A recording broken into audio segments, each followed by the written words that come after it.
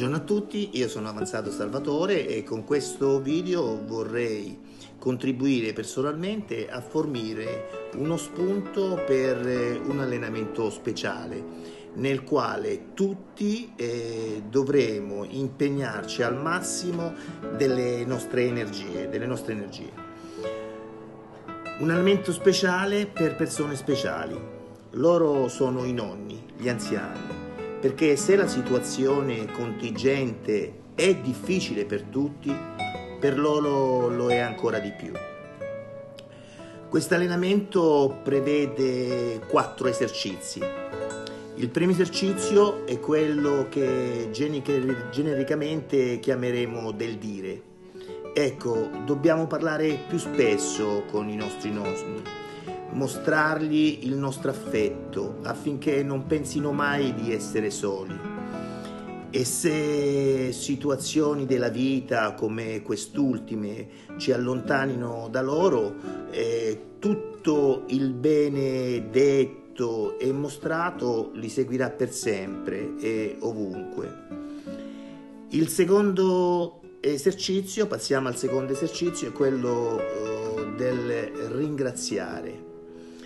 Vedete, nel tram della vita eh, ogni tanto dobbiamo fermarci e sentire semplicemente il bisogno di dire grazie, non è così?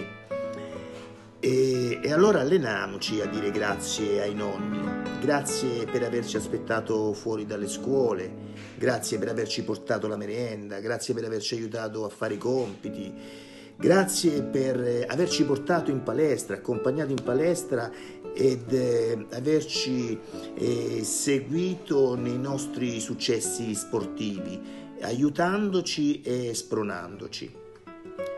E quindi diciamo ai nonni grazie di tutto.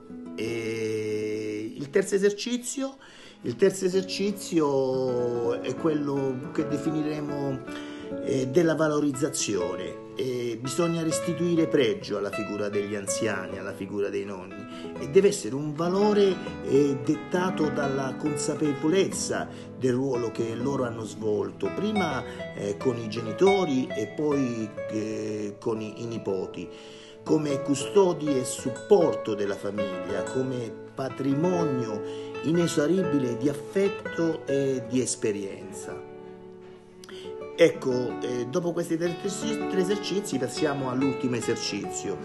Eh, quest'ultimo esercizio, ma non ultimo per merito, è quello che eh, definiamo dell'importanza. Ricostituiamo l'importanza dei nonni all'interno delle nostre case, delle nostre tavole, ecco, e restituiamogli il posto del capotavola perché possano eh, portarci alla memoria dei pasti precedenti, quali eh, depositari della, della storia della nostra famiglia, perché non può esistere una famiglia se non eh, abbraccia i suoi ricordi, le sue radici.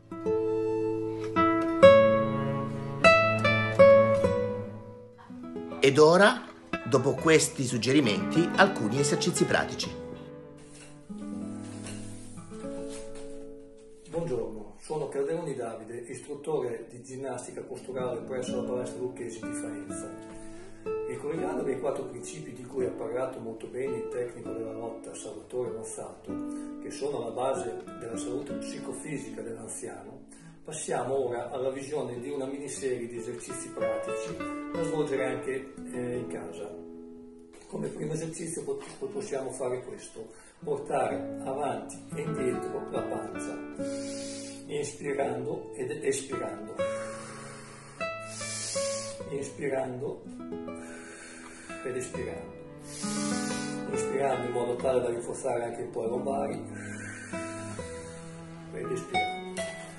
L'esercizio seguente lo svolgiamo a terra, schiena a terra, gambe flesse, appoggiati comodamente. Da questa posizione, espirando, solleviamo lentamente eh, il bacino. Torniamo e di nuovo ripartiamo. Quando solleviamo lentamente il bacino cerchiamo di sollevare una vertebra alla volta, lentamente fino ad arrivare alla zona eh, tra le spalle Ritorniamo e riprendiamo.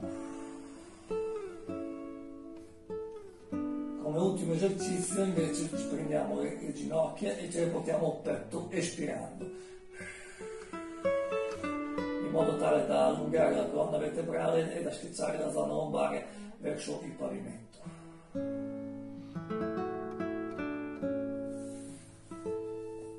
Questo è tutto, arrivederci a tutti e buon lavoro.